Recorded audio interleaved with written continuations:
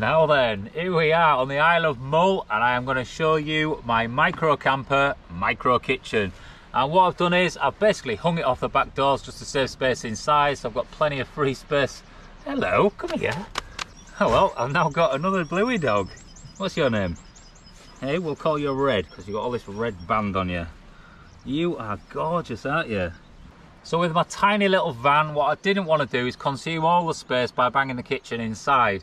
And also cooking inside isn't great because you get all the smells and the gas is burning and everything like that. So I wanted it to be on the back doors so then I can open this up and stand here and then cook. So I've tried to do everything just in this little space. So once I'm in the middle, I can just rotate around and it just works. So let's show you. I've got a few little uh, gadgets and tricks that I've done and I'm sure there's a couple things here that you will be interested in. So a quick walk through everything and then I'll show you how I made it.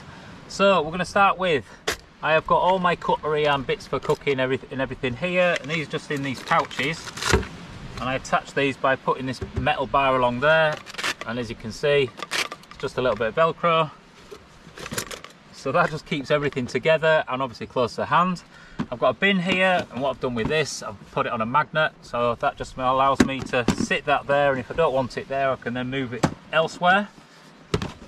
On this side I have got my storage. So in the bottom here whoa I've got my Yorkshire tea.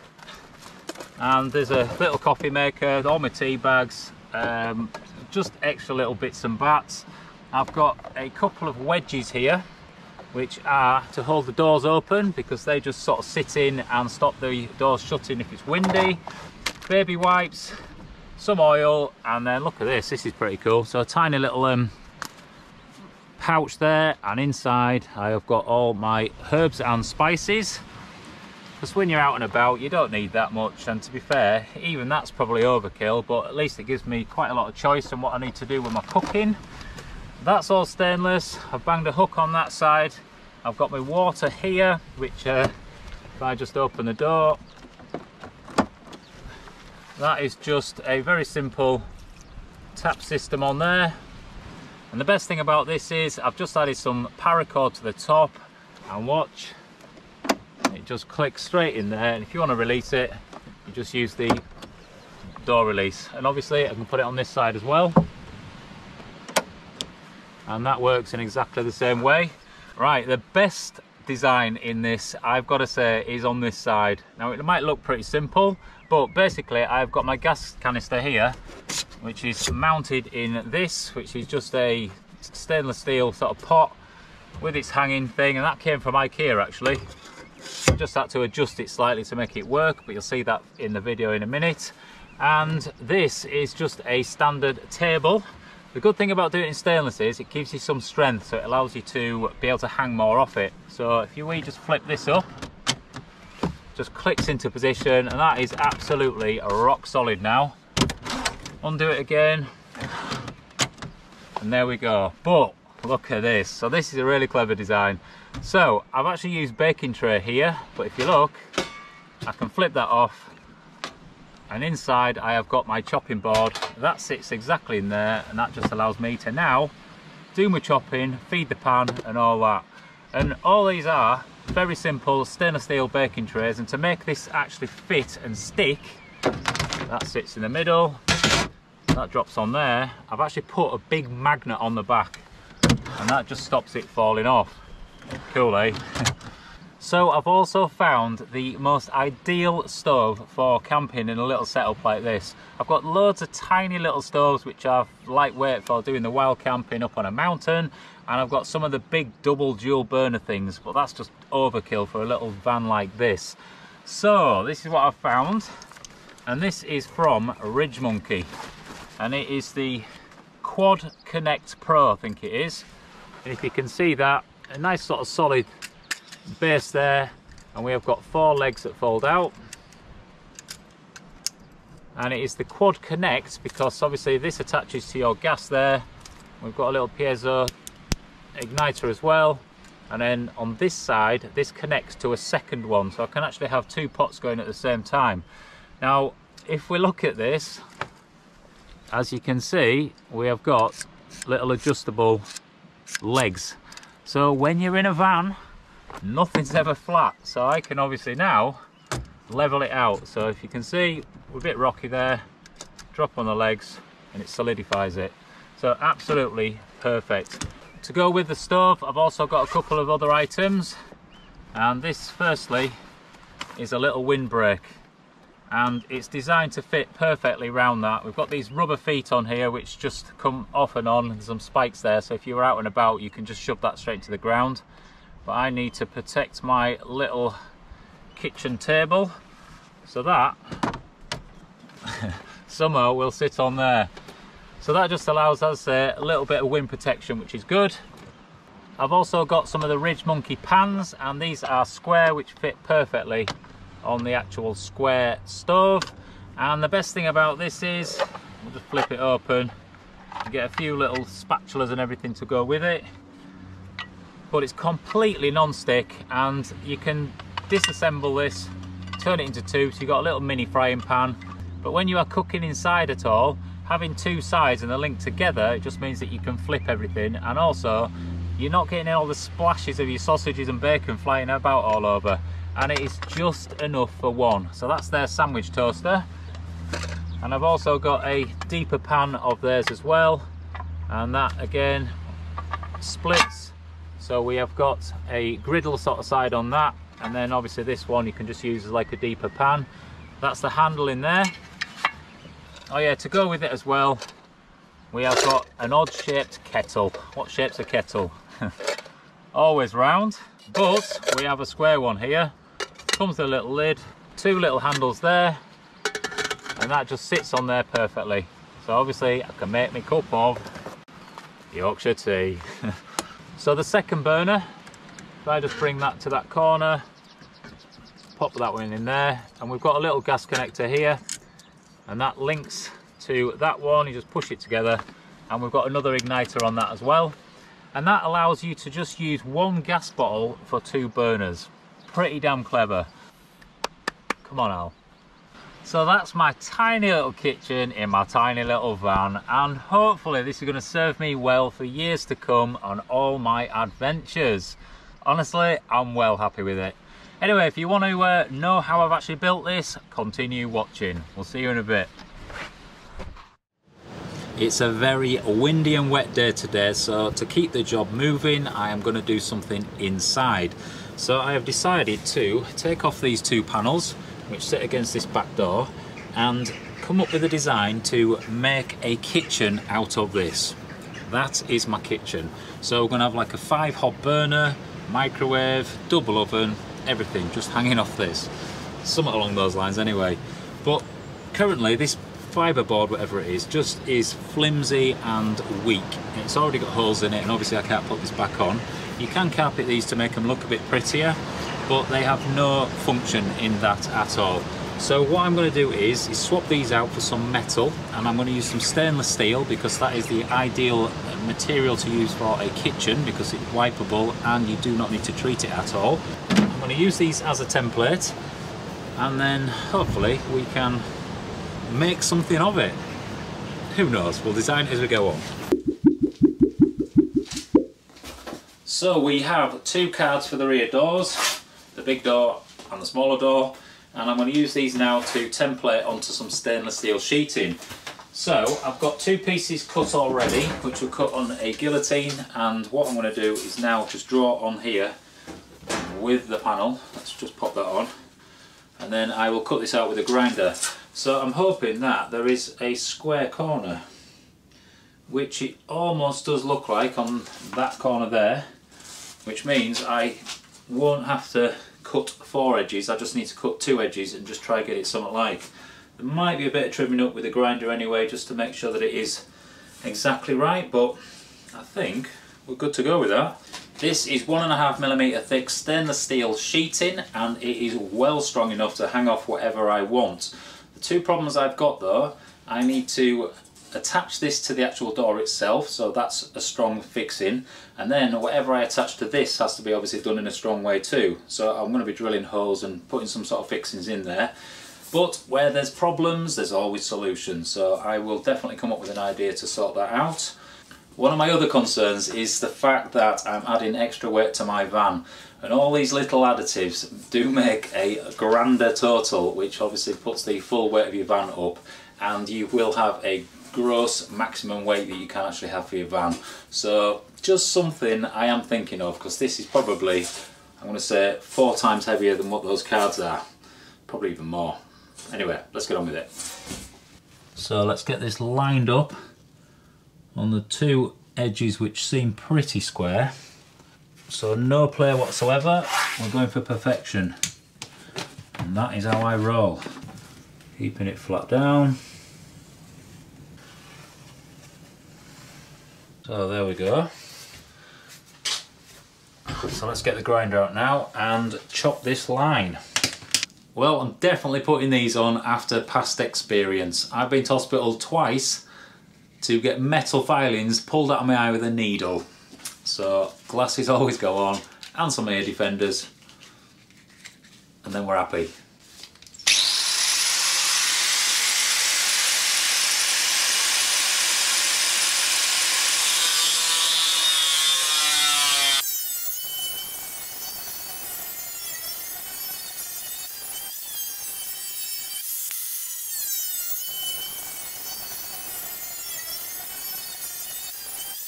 Well, that was fairly straightforward. Obviously, you've got a straight blade trying to cut a corner, so you have to sort of work your way around like a 50 pence piece. But once you get there, you're not far off, and all I need to do now is swap my disc over from a 1mm cutting disc, which is that one, and then if I put a flap disc on, like this, it's just an old one which I'm going to get a little bit more life out of. I'm just going to smooth all this out and just make it as perfect as possible, and then we'll see how we get on with that.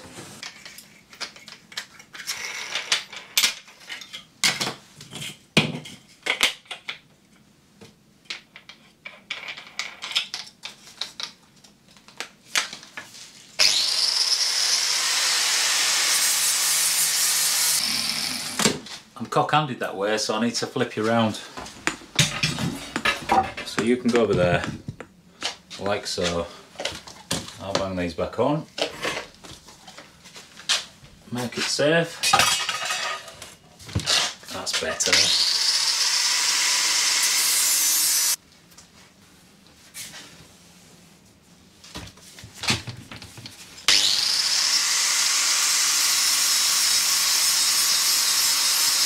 Right, I've sanded all the edges down just to make sure that there's no sharp bits, but it might need a little bit of titivation.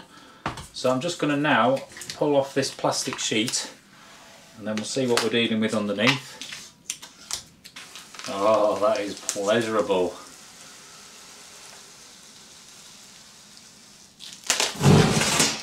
There we go then, beautiful.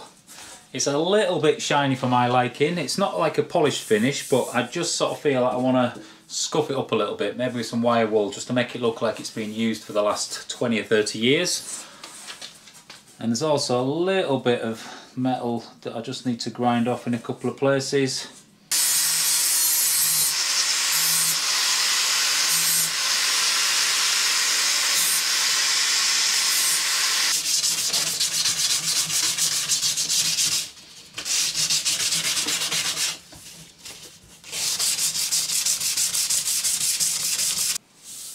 Well that is beautifully smooth now. Absolutely bob on. Or Dave on. or John on? I don't know. Why did I say bob on? I always do. Anyway, let's take this out and we'll offer it up against the door and see what it looks like. So, very exciting stuff. Apart from it's absolutely persisting it down. Maybe a cup of tea and a sandwich. Let's do that first. Onto the other rear door panel and again we've got a pretty decent right angle here so I'm going to pop that into the corner of this stainless steel sheet and then we're only cutting two edges not four. Same process though, I'm going to take a pen, draw around it. Once we have a line to cut to I'm going to take my one millimeter cutting disc and cut it out like that. Then once we've got that cut out, smooth it off and make sure it's pretty decent with the flap disc And then just to finalise it, we'll get some sandpaper and give it a real good sand off so it's not sharp at all. So, there's no point me filming that because it's pretty boring. So I'll do it really, really quickly. Awesome, eh? Look at that. No sharp edges at all, nice and smooth. And it is pretty much perfect like the other one. The only thing is I have just nicked the face of it just slightly with the grinder on the front there but you won't see it from your house so you don't need to worry.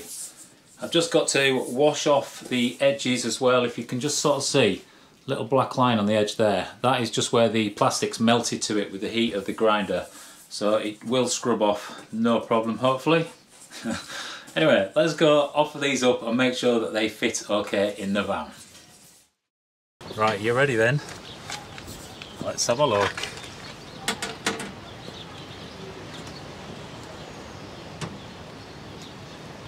Look at that. That is beautiful. Honestly, that is just going to be amazing. So the next problem is I need to attach this to that.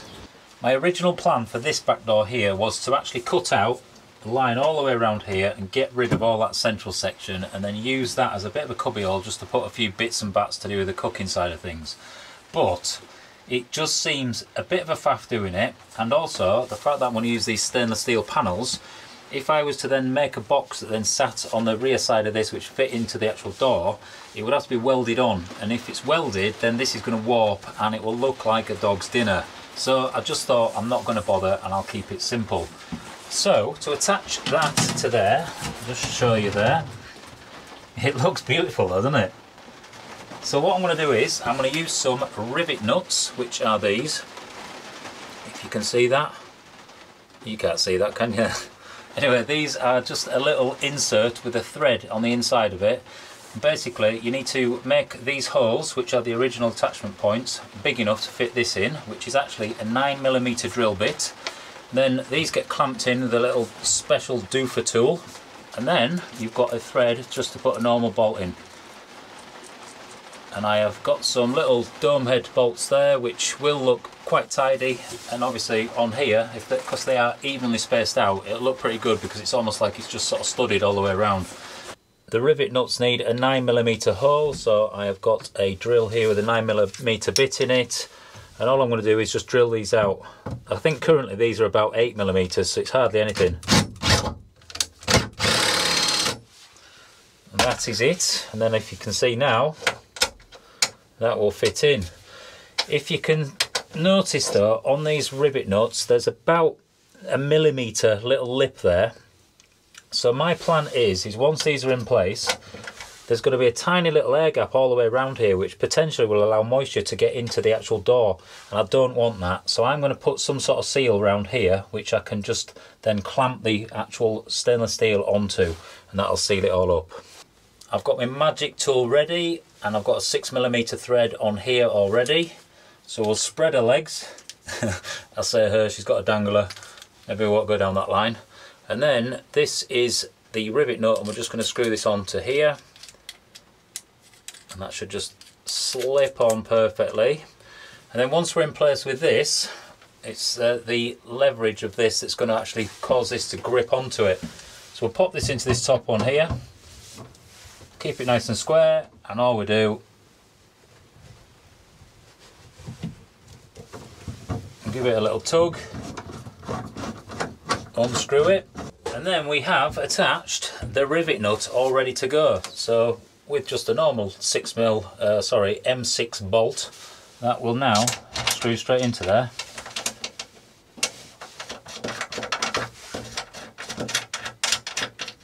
Perfect and rock solid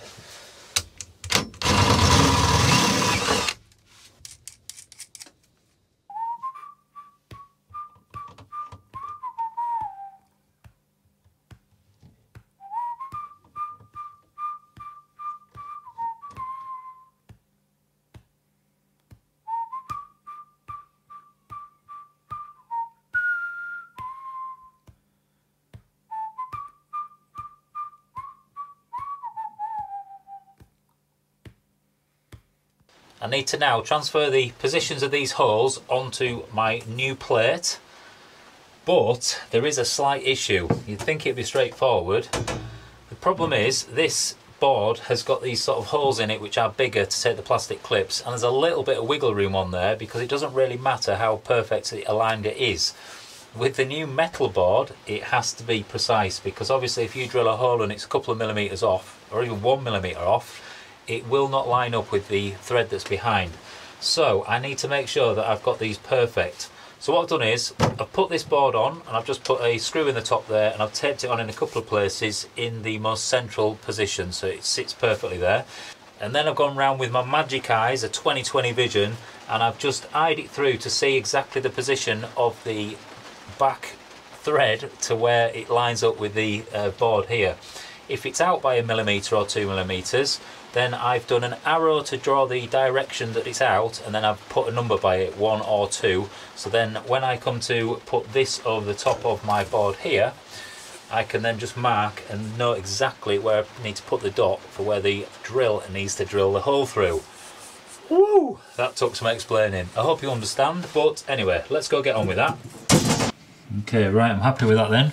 So with each of these I've put a mark on and the direction of the movement of the dot where I need to put. And this one is two millimeters that way. So I can see exactly where the center is. And I'm going to just use my magic eye again and go over two millimeters. I've got my 10 dots ready to drill. And I've chosen a six and a half millimeter drill bit which is only just bigger than the M6 bolt. And it's easier then to go bigger if needed. So if I need to take it up to 7mm, it takes a second. You can't reduce the size of a hole. But I'm going to start with a smaller drill bit because this has got a sharper point on so I can be a bit more accurate with the actual placing of this. And prior to that, I've got a screw. So I'm going to use this as a bradawl because I don't have one. So I will just pop it over the hole, give it a tap and then hopefully that'll just give enough for the drill bit to actually sit into.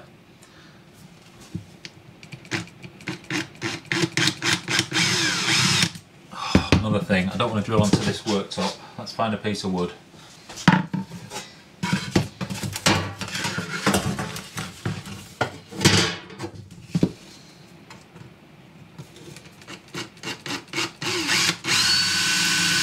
Hellfire, stainless steel is hard. Swap that one out.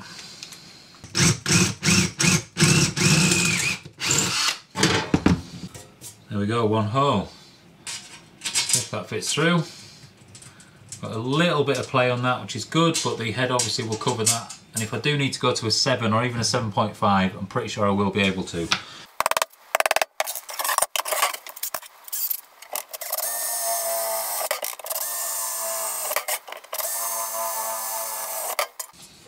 there we go, done. I might just get a file and just take off any burrs, but apart from that, that is ready to fit. So let's go see what it looks like.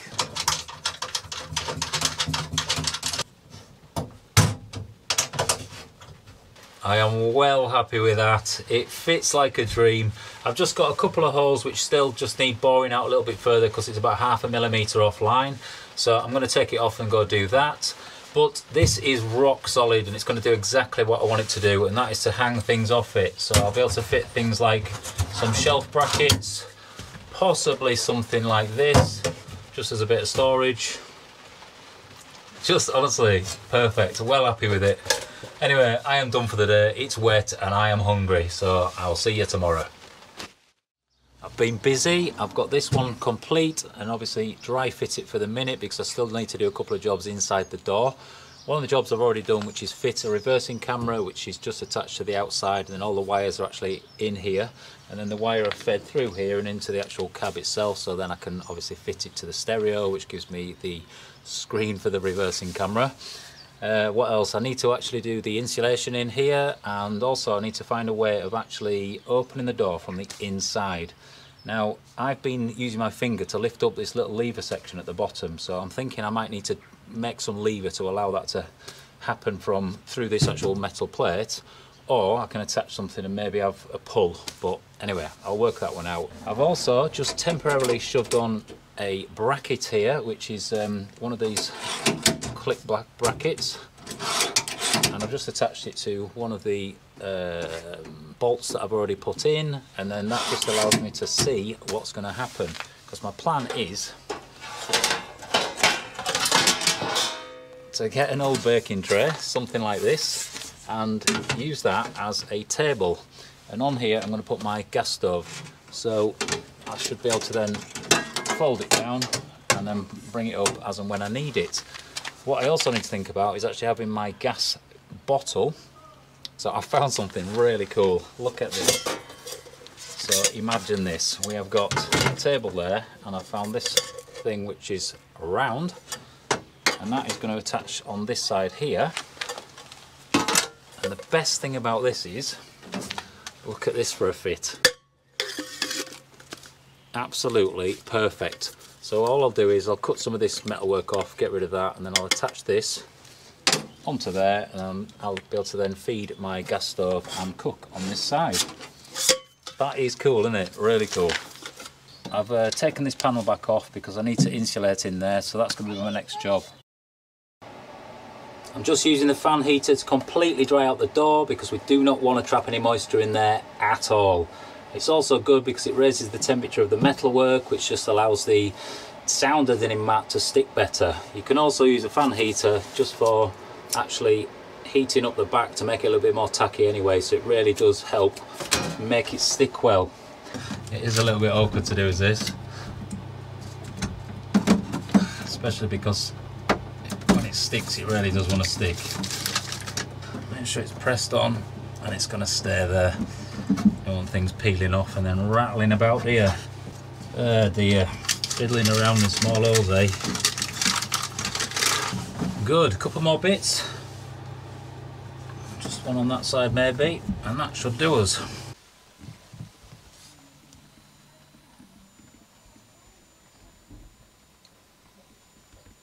Onto the panel now, and I've given it a wipe down with a degreaser, and then we're going to stick on some sound deadening insulation, just like that, and hopefully that will help take out that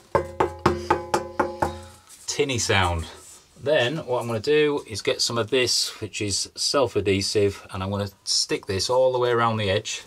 Let's see if I can show you. I'll do it across my chest.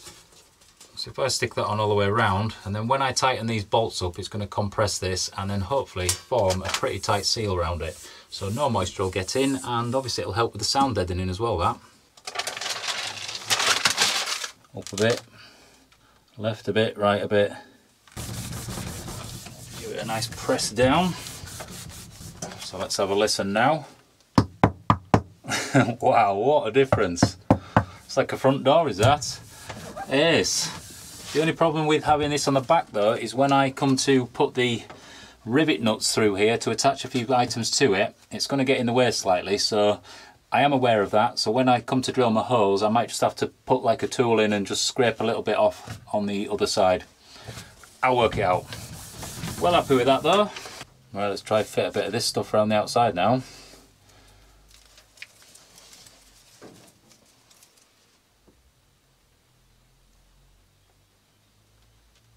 I'm going to inset it in about one millimeter. Look at that, proud as punch. That's going to seal it up absolutely perfectly.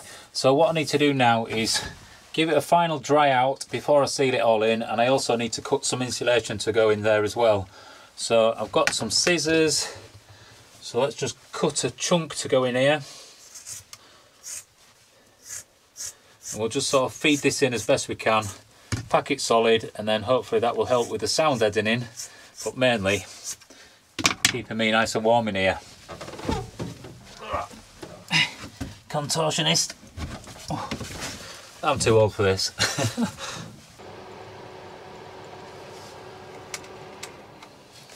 Right, that should do it. I do feel it is a shame that this space here isn't going to get utilised because it's crying out for some little sort of cubby old shelves or something putting in there.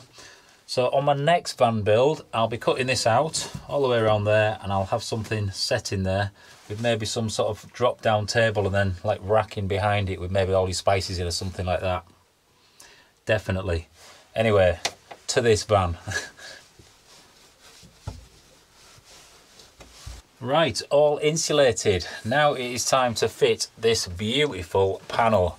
And I think this is a great idea having the seal around the outside because then it acts like a vapor barrier. So it's going to stop any moisture getting into that door. There is a hole there which I've noticed, but I'm going to get a rubber grommet to fit in that so that'll seal that off as well. But apart from that, oh there's another one down at the bottom as well.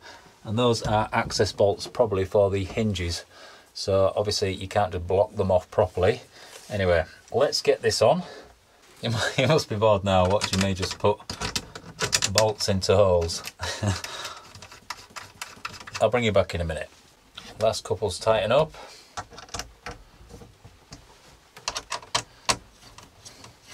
And we can stand back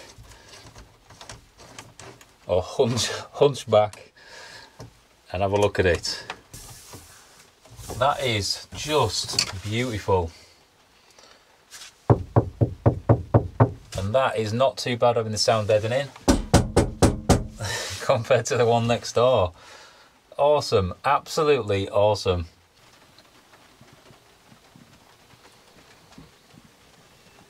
Looking at these folding shelf brackets now and I need a way of attaching the shelf to this. Because I'm going to use a thin piece of metal it is going to have to be done in a slightly different way to normal because normally you just screw through these holes with a decent sort of solid wood screw into a piece of wood planking or whatever the worktop's going to be and it'll work fine. I can't do that because as soon as I pierce this you're going to have a sharp spiky bit sticking out the top. So what I've done is, as you can see there, I put in a nut rivet and one in the middle there and I've just got one more to do. I had to bore the hole out a little bit bigger just so it would fit the rivet in and also that end one if you can see I've actually had to move it up slightly as well because it actually snags the contraption as it works. So let's just do this last rivet in here. Just pop that in place. But I sort of line it up.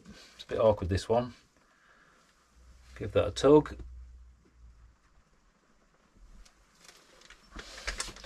Unscrew it. And there we go. We have three full rivets which I can use to actually screw into. I might only use the outer two anyway but I'm going to attach the shelf using these which are an M4 flange top bolt. And they're really low profile so when you're sort of wiping clean on the uh, shelf itself they're not going to sort of snag your wiping equipment, whatever that may be, or your fingers. And if you can see, they just fit in there perfectly. And obviously just give it a bit of a tighten up onto the actual metal and it will work a dream, he says. this is my cooking stove shelf and as you can see I've attached the brackets on both sides. I had to start at this nut here uh, so I basically put a bolt in and offered it up and then I've actually put a couple of marks on to where my holes are going to be to put the new nut rivets in there. And also here I've drilled through already but that actually goes onto the inside skin of the actual metal of here. So if I put a rivet in there now it'll clamp both together and I'll never get this panel off. So I need to take the whole lot off drill a bigger hole on the inside and then um, attach the nut rivet to the outside shell and then we can take the whole panel off with these things attached all in one. Woo!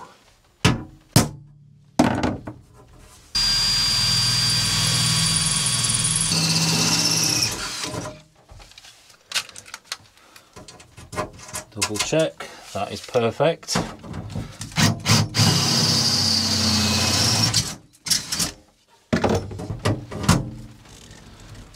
Popper and all. Give her a squeeze, undo. Simple and beautiful.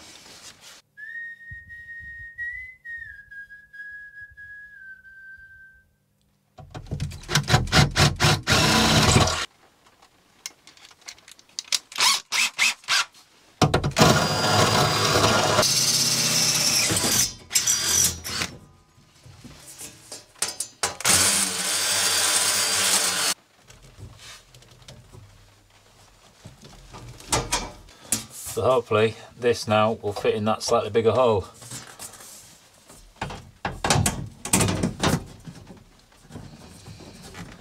Perfect. And that now allows me to attach the shelf to this and anything else to this and the whole lot will come off if I need. Because sometimes you do need to get to the back door to mess about with things like changing number plates. Obviously the door can have a the door handles can have a bit of an issue sometimes as well, so you've got to tighten these up. Oh, tell you what, I'm gonna have to get a bigger van. This is too small for messing about doing this working.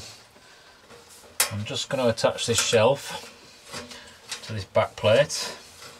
And once this is on, it can pretty much stay on, I think. Right, that is attached. There's just the final one which attaches through the top one there, which obviously goes into the existing there. Let's see if it works.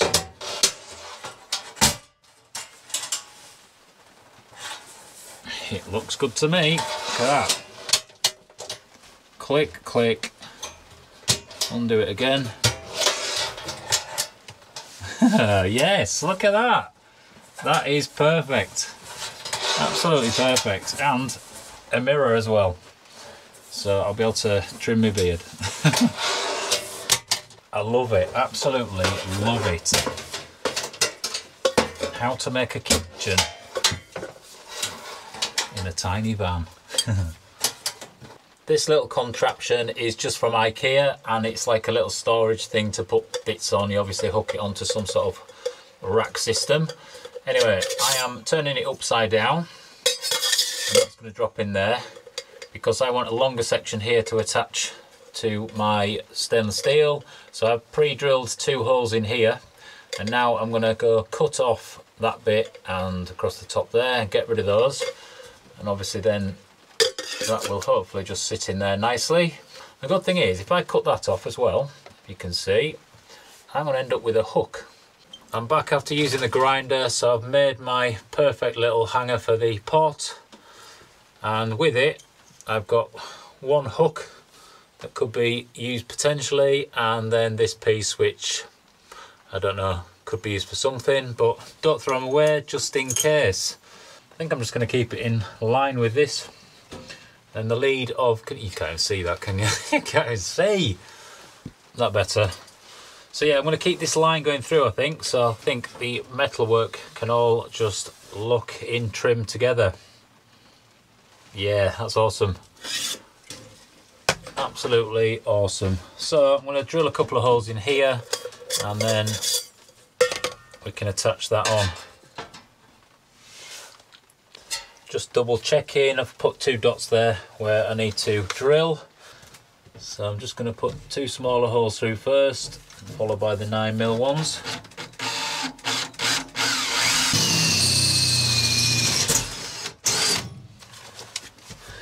Done. Yes. Yes. See if she works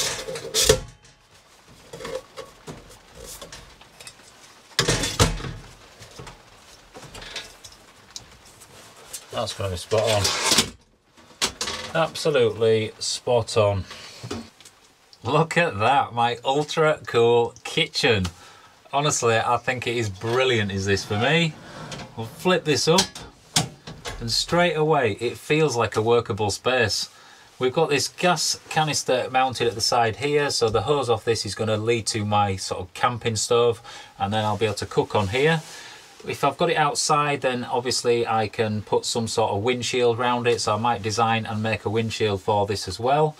Um, I've used a upstand here all the way around this because when you park up you never park perfectly flat. So you put something on a flat table it's just going to roll off. With an upstand that doesn't happen.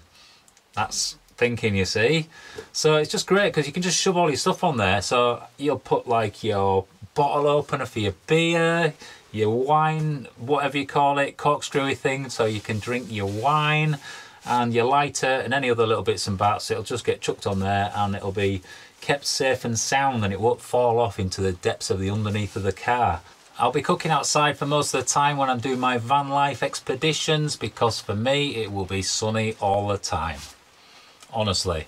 But for those odd occasions where it may rain, which is uh, very often in the UK, I have designed this to be at a height that I can actually use it inside because my bed is going to be underneath this. So hopefully it'll just slide over the top of my bed and I can continue cooking inside.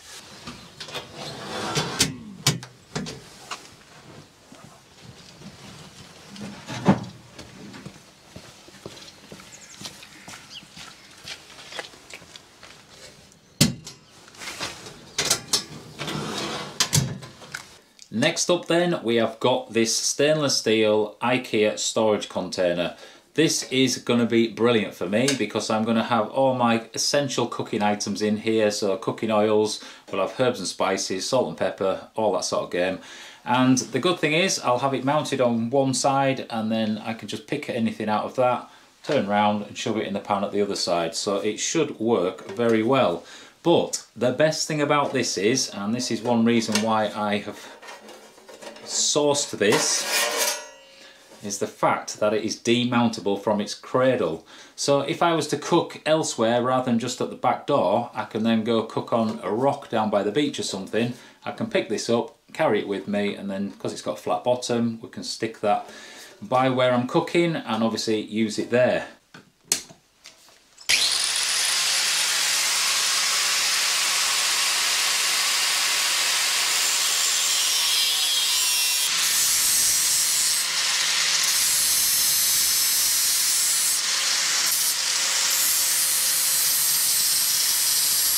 So there's the cradle looking nice and clean.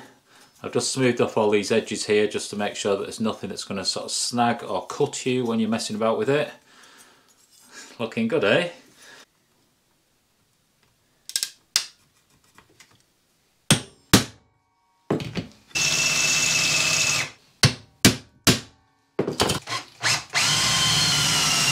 There we go, that does not take long adapting those and obviously the fixings are going to be hidden by this. So you can't see it. Perfect eh? And then the bonus we've got these little hooks which are going to be just perfect just for hooking stuff.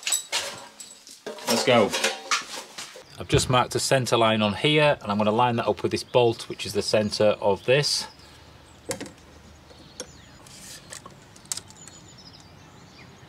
So, keeping that pressure against that without moving it. Let's see, mark these holes.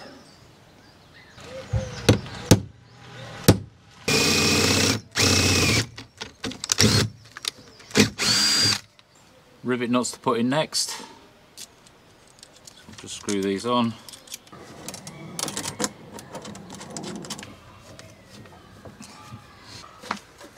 Ready? There we go. Yeah, it's good as that, isn't it? Right, next job. I'm going to take these out and pop those hooks on there and there so it gives me just that little bit of extra storage. So we'll take this one out first.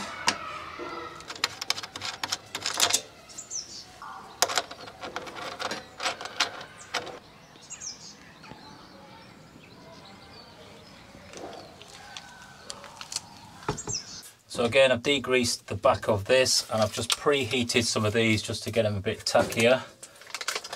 I'm going to stick this on in the desired spot, which I've already marked.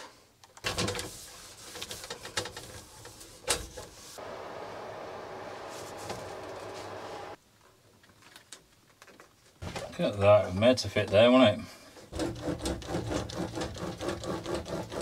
Got this fully prepared now. I've got this seal all the way around the outside, bit of sound deadening on. And now it is case of fitting it to the door. I think I've done everything inside the door that I need to do. So let's hope this is the last time I have to do this.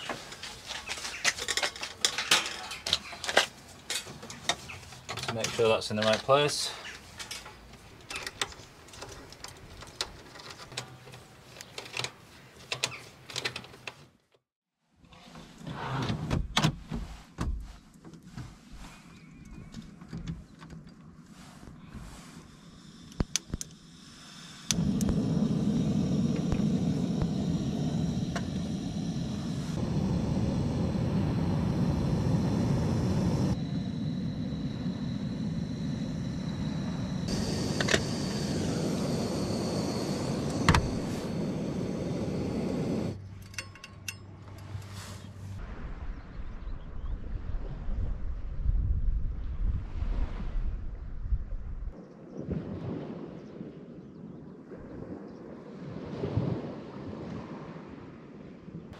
Well, hopefully you've enjoyed my little micro kitchen build in my little micro camper.